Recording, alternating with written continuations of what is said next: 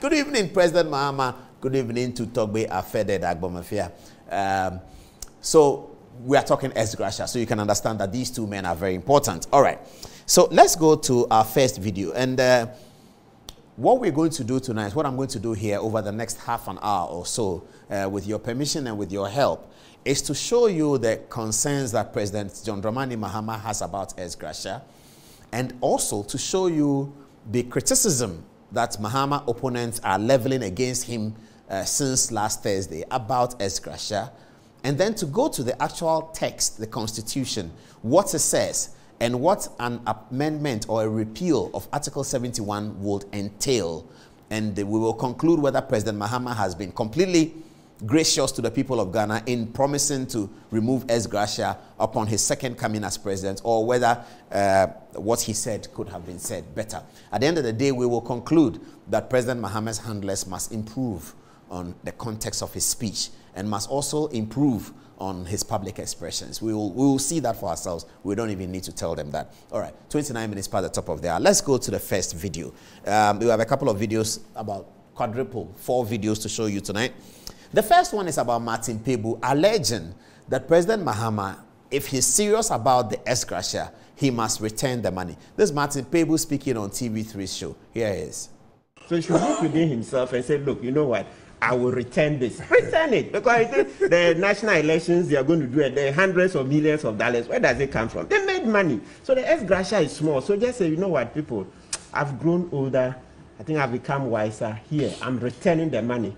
That gratia. You should return it. It's a good. All right, so that was Martin Kpebu speaking about uh, constitutional amendment that he believes that President Mahama should return the money. And, and this conversation is about the commitment of President Mahama to the promise that he's making. And so when politicians make promises, sometimes these days we tell them that they must show the, what they will do. It's very difficult to tell one who is running for presidency the first time.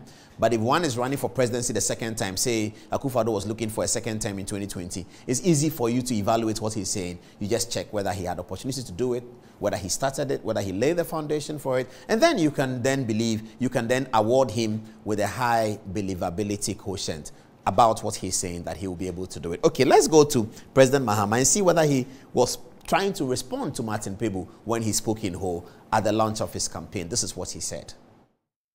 The economy is in crisis. Why should we continue to take ex gratia when the rest of the public and civil service don't take it? And so I said categorically that we will cancel ex gratia. And then somebody who should know better, a lawyer, he said, Oh, then I should refund all the ex gratia we took before to show Ghanaians that yes, we are serious about cancelling it. He does not even know the principle in our constitution that says that you cannot pass retroactive legislation. If you pass legislation today, it does not affect what happened in the past. And what he says is a bit silly because it's like saying that because we've introduced free SHS, all of us should go and get a refund of our school fees that we paid in the past. That is how silly what he's saying is. And so they should they should state what their position is. Are they in favor of ex gratia or they agree with us that we'll cancel it? We are saying 2025 when we come, we will cancel ex gratia. Okay, for those of us who have been saying that uh, President Mahama uh, should have done it in his time, I think he's given us an answer, hasn't he? He says that because the economic situation is bad, he thinks we should take ex gratia out. Does it mean that we take it out temporarily and when the economy is good, we will restore it? You have to give President Mahama that because that's what he said. I have been saying that if he wanted his gratia out, he should have taken it out in his time. He said in 2015 he was going to do it. I don't, I'm not so sure whether in 2015 he referred to the economic situation, but he's given us something. He says that the economic situation, that really is the, is the denominator. So the other question for him tonight is if the economic situation gets better, is he happy to have it restored or we should cancel it completely because it looks like it is a conditional cancellation. It's a conditional promise that the economic situation seems to be the denominator for that. But anyway, we'll go on with the process and then you decide, viewers, you decide what you think. So that was President Mahama saying that the, uh, the suggestion by the lawyer that uh, he should return the money is silly. And the lawyer is indicating that he doesn't understand retroactive legislation. That is a complete shocker because what is retroactive legislation in this conversation? There's no point about retroactive legislation. Nobody is asking any legislation to be retroactivated. No. They are saying that you are promising something in the future, a repeal of a law, a removal of something. You have benefited from that something. So show good faith by returning what you, you've benefited from. Do we not have examples of people who have returned as gratia? We have many. First lady and second lady had done it. Last year, there was hula belu about something they had received. They returned the money. Togbe Afede, here, uh, where is he? Oh, this is Martin Kpebu now. Uh, yeah, this is Afede. Togbe Afede here had also returned the money. People had said that that was dishonest, but he returned the money. So that ex gratia can be returned. We have seen it happen. So if Martin Kpebu um, who is an NDC person, he's talking a lot for NDC. He ran a demonstration against Akufo and all of that. At least he's an anti-Akufo person. If Martin Kpebu, who is who is on the same side with President Mahama anyway, so I'm not so sure what the fight is about because they are really on the same side. Martin Kpebu is here, President Mahama is here. They are on the same side. They, they, they, they, are, they are really on the same side. Remove the Akufo government as quickly as possible. That's the side that they are on. Get Akufo to resign as quickly as possible. That's the side that they are on. So if Martin says return the money, Martin is trying to raise the credibility of the anti-Akufo-Addo lobby. That's what he's doing. He's trying to raise the credibility of the anti-Akufo-Addo lobby. And President Mahama says that he's silly to even ask for that. It means that Martin Kpebu does not understand retroactive legislation. What is retroactive legislation about this? Tonight, we will take Article 71, we'll go through it in detail, and then we will show you the amendment processes that must occur for Article 71 to be amended. And then you understand that there's nothing about legislation. There's nothing about that. No, absolutely nothing. Because the Constitution provides basis on which a law can be amended. So when President Akufo-Addo says, I want to amend the law to, for us to elect district assembly chief executives, he began the process in parliament because the Constitution shows you how you do it. And the first move to amend some of those major articles is the president's pen. That's the first step. The first step is the president's pen to craft a bill through cabinet, through the attorney general, that goes to the speaker. The speaker accepts the bill, blah, blah. We'll, we'll tell you about that a bit later. So the last video was President Mahama saying that Mr. Kpebu's suggestion that return the money is actually very silly. All right. Whether President Mahama has received money for ex gratia or not became another conversation. We have found the answers to that. So let's watch a video uh, where President Mahama says that he did not actually receive ex gratia, something like that. Have a look and then determine what he said. The likes of Abronye DC quote some 15 million ex gratia that you were paid. As, that's, as, as that's, that's, president. that's an absolute lie. In, he says in 2013, 14 million was paid into my ADB account. I wish my bank statement was here. I'll, I'll show it to you and then you look. After this um, interview, I have my 2013 bank statement. I'll let you look through and see if there's any 14 million payment. The only payment that was made to me by government, accountant general, was my salary arrears of 230,000 cedis. That's all. In 2013. In 2013. I'll show no, you that bank no, statement. No ex gratia or no ex gratia. I was paid 230,000 as salary arrears in 2013. And I can call a group of you journalists. I'll show it to you first. And later, if you want, we can call a group of you journalists. Of course, I don't want to publish my bank statement, but I can put it before you and you look through all the payments and see if there's a 14 million cedi payment. I didn't receive any such payment. Now, this is getting very interesting, isn't it? Very, very interesting. The story that you saw is here. I've not received any ex gratia. I pay for everything myself. President Mahama said that. Um, um, that's, that's in the interview, and that's what he said. This is very interesting, isn't it? Viewers, it's getting very interesting at 20 minutes to the hour of 10 o'clock. Because what President Mahama has described, the salary arrears, is under the Constitution what is ex gratia. That is what it is. Now, here is a former president who says, I didn't receive ex gratia, but I received salary arrears. But that's what it is. That's what the ex gratia is about. I will show it to you in Article 71 that the description of salary in Article 71 includes emoluments, salaries, extra payments, da da da da. And I'll show you what the you see, they will have to arrive at a certain point where they have to determine that you have salary arrears. That's the ex gratia. That is the ex gratia. Okay, if you don't believe me, here's Joyce Bawah Mogtari speaking on GH1 after President Mahama's interview, clarifying that the same set 200,000 and extra that President Mahama referred to as salary arrears, Joyce Bawah refers to the same thing as ex gratia. Here is she. Okay. How much does former President Mahama receive every month? It's 22,000 and a little above that, okay. which is his pension. Right. That's one. Then as a lump sum, as a ex gratia, he received a one-off payment of about 250,000 and a little. And that was about it.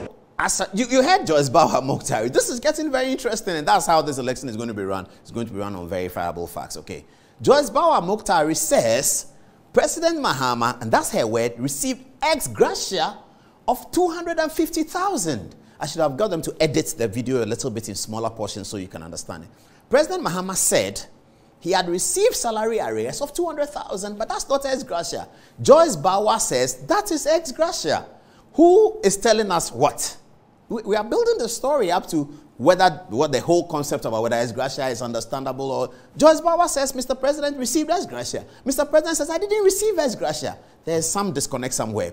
We side with Joyce Bawah. She's right. That's the constitutional description of what ex gratia is. That salary arrears. Now, I'll show you how we come to the point to determine that there are arrears. That's the process of ex gratia. That's it. So President Mahama received ex gratia 220,000. That's what Martin Kpebu says he should return to show good faith. After all, give me Togbe Afede's photograph again. After all, Togbe Afede returned it to show good faith. So we have had Joyce Bawah Mogtari talking. All right. Now, after Joyce Bawah Mogtari spoke about President Mahama receiving it, we have President Mahama again talking about the most ridiculous thing of people asking him to return it. He says he has spent the money. He cannot return it. He has spent it. This is President Mahama. But the point is, I say we'll cancel ex gratia. If you cancel it, you to say, when we come, we'll cancel it. But why are you insulting me and saying I should refund mine? Would you cancel it or you cancel it? Tell the people of Ghana but oh, bring your, yours first. Why? I've spent the money already. and now I'm a pensioner. Where am I going to get that money to come and pay back? I'm totally confused, viewers. I'm totally confused. I don't know how you see it. So President Mahama says he didn't receive ex gratia. Joyce Bawah says he received ex gratia. President Mahama says, well, he received it. But asking him to return it is, is he doesn't understand why asking him to return it. Because he says he has spent it. But he believes in a new government policy that says you don't have to do ex gratia anymore. He says that, shall we say that those who paid free SHS should go and refund their money? I don't get the relationship, the connection. That will be retroactive, what he's talking about. I think there's something missing. And I, am not blaming President. Mahama is my man, and you know that he's my man. I'm not blaming him, I'm blaming his handlers. And I think that all leading political figures must have a certain standardized quality of people who handle him. His speeches, his expressions, his outdoor, they should have that. This, is a, a, a, this has been botched. It's a total botched work of President Mahama's handlers about the whole conversation of ex gratia. If somebody were to ask where does President Mahama stand on ex gratia, they will be they will be half puffing. They'll be half puffing on what to say because you can't tell what he's saying. And that's not his problem. That's the problem of the handlers. The, the, the PR people, the lawyers around. What is this? Why are you allowing the president to talk about retroactive legislation when it doesn't fit the context in any way? There's nothing about retroactive legislation in a repeal of Article 71. There's nothing about retroactive legislation about it. You let the president to say that. You let the president to say that he didn't take ex, gratia. And then you come out and say, as one of his handlers, Joyce Bawah, that he took ex gratia of 250,000. He says when you were telling GH1 that he didn't, didn't you know that he has said that he didn't take ex gratia? So that you can reconcile the story? Um, I don't know. I'm not sure what is happening. But I wish, I wish I could do better for someone to be able to help President Mahama to get the thing right. I mean, tomorrow, President Akufo is going to do a sessional address. When President Akufo speaks, he's been speaking since 2017. We are not able to come and stand here and digest the speech and say he, the, he, he indicated a misapprehension of the context of a national law. No! The president shouldn't speak, and then small boys like me are analyzing and say, it looks like the president has a misapprehension of the national law of Article 71. He has lawyers with him, he has PR people with him, he has political actors with him. They should know that you can't let presidents talk like that. I mean, what is going on? Is that how we're going to run the 2024 campaign? I mean, I don't know, but, but let's hope for the best, you know. So, the last video President Mahama then finds occasion to congratulate Togbe Afede for returning his ex gratia. Now we can understand why he's congratulating because President Mahama says he cannot return his ex gratia. Now there's a good reason for that. there's a good reason why we need not amend Article 71. President Mahama made the point. He said, he is former president. The constitution does not allow him to hold office of profit. He doesn't. You can't work. And that is why Article 71 allows the president to set up a committee for the committee to determine how he should be looked after as former president. And we say we should cancel this because we want to be populist. We want to look like we are running a, a, an economy. We love poor people and we don't want to spend the country's money. Is that where the Martin Kpebu said something about President Mahama already has millions. So where did he get the millions from? I mean, I, I, he, he, said it. I didn't say it. It's in that video. He said they already have millions. Otherwise, how are they going to run the campaign? So this small money they should. I do, how did he know President Mahama has millions? I don't know. Yeah, how did he know? But the reason why we have to give former presidents money is because we tell them that they cannot work anymore. They are properties of the state. The state uses them. So today there's problem in Ashaiman. The National Security Coordinator can pay a courtesy call on President Mahama and say, Mr. President, please, can you go and talk to the Ashaiman chiefs for us? That is his work. That's his role. He is a tool and a property of the state. That's what he is. So the state sends him, go to Ashaiman, do this. We hear there's crisis in Bawku. We go to President Kufuor and say, Mr. Kufuor, I mean, when you were president, you had a lot to do with the Bawku crisis. Please, there's another one. Can you please talk to the chiefs? That's the reason why every month we send them money. That's why we've given them an office. That's why we pay for the office staff. President Mahama says office staff is not being paid. That's the reason for the ex gratia. What is evil about ex gratia? If some people want to create populism and they say they return some money, is that is that the? But tonight we'll go into the ex gratia and you see it again in some detail. Okay, so we know that President Mahama appreciates those who return the money, but he's saying that he cannot return the money because he has spent it. Yes, President Mahama when a traditional ruler